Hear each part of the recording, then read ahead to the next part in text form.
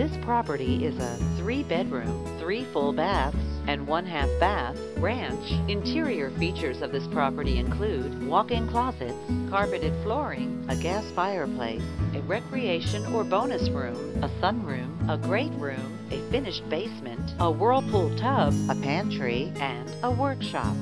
On the outside, this property features a patio and a cul-de-sac location. This property is represented by Linda Miller, Atlanta Community.